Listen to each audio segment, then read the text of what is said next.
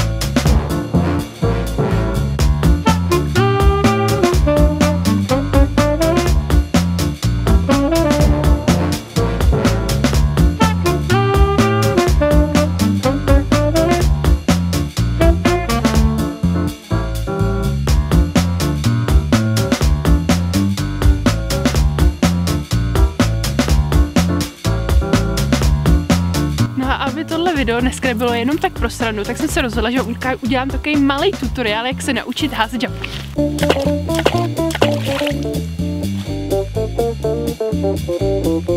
Josefínce to moc nejde.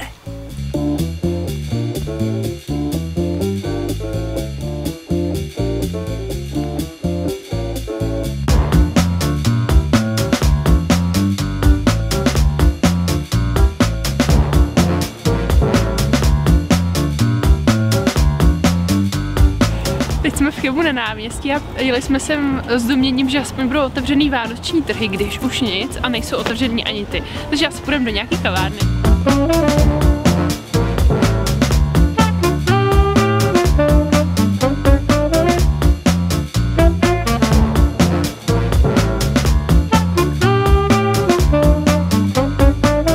Doufám, že se vám dnešní výlet líbil tak stejně jako nám.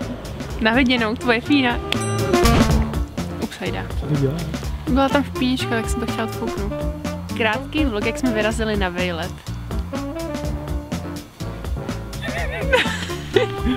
Je mizivá. Ano, tati? Prošli jsme si celý náměstí. No, to kecám teda. Ale nevím.